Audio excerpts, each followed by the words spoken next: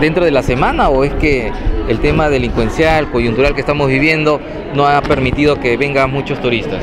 Bueno, básicamente ha sido que la forma de pensar de los, de los viajeros, los turistas que antes venían cuando habían fiestas acá en la ciudad de Huacho ha cambiado, ¿no?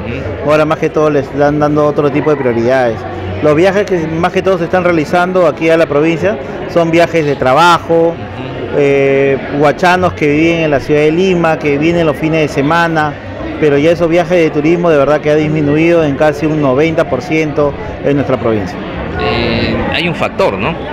Claro, el factor que se ha debido básicamente ha sido eh, la pandemia. Antes hasta los comerciantes viajaban una o dos veces por semana, ahora ya no se ve eso, ¿no? O sea, ya los proveedores les envían vía, vía courier, también se debe también a la inseguridad que también se vive a nivel de toda la provincia. O sea, todos esos factores influyen para que el flujo de turistas disminuya. Bueno, en estos últimos días, el tema de sicariato, de asesinatos, de robos, hace justamente que eh, las personas lo piensen dos veces para venir acá a la ciudad. ¿no? Sí, claro que sí. todos esos factores influyen para que el flujo de turistas que normalmente estábamos acostumbrados antes de pandemia haya disminuido. De verdad que se tiene que tomar cartas en el asunto, tomar los correctivos para que Huacho sea conocida como una ciudad segura, ¿no?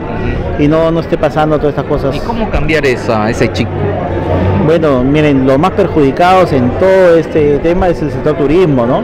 ¿Por qué? Porque ya no se mueven mucho los restaurantes, eh, se tiene que hacer también unas campañas en Lima, unas campañas para promocionar las rutas cortas hacia la ciudad de Huacho, hay que promocionar más nuestra tierra para que puedan eh, venir más flujo de visitantes, porque el turismo no solamente mueve a los restaurantes, a los hoteles, el turismo mueve todo, grifos, bodegas, hasta los canillitas, los lustrabotas, se mueve toda la economía y en un estudio que se realizó hace algunos años por la Cámara de Comercio, decía que uno de los puntos muy importantes para el desarrollo de nuestra provincia era el turismo.